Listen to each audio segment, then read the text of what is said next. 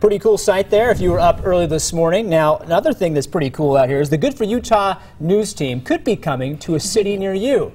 Today, we're kicking off our Good 4 Utah road tour. We're coming to nine cities and college campuses across the state. Well, we're starting in Logan today on the campus of Utah State University. Chief Meteorologist Dan Pope joins us live with a first look at your forecast. Dan, you've got all your Utah State gear on. Looks like you're ready to go.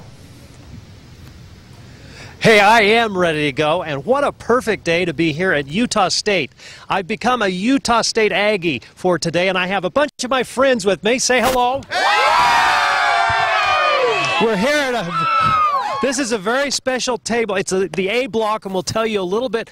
It's kind of, we call the A block the first of our story that we do, but this is the A block. We'll tell you why it's so special and uh, a little bit more about Utah State coming up in a little bit. It's a wonderful university, a great research university. Now, we'll talk about the weather. First of all, we have this is the blood moon. You say, what is a blood moon? Well, that's when the moon goes into the shadow of the sun, and we had a moon eclipse, and that's what it looked like. Meg Roberts shot that for us. It turns kind of a red color because of the atmosphere around the Earth reflecting off of the moon. We have some showers and thunderstorms across south central, southeast Utah.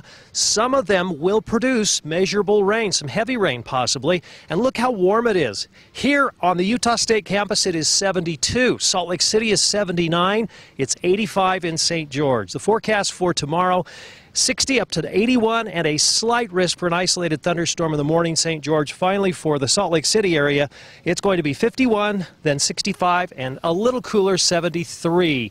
We'll be back in a minute. Everybody say back in a minute and hello to every, all your friends. Having fun on the Utah State campus. Nadia and Brian, back to you. I think woo counts as well. I think so.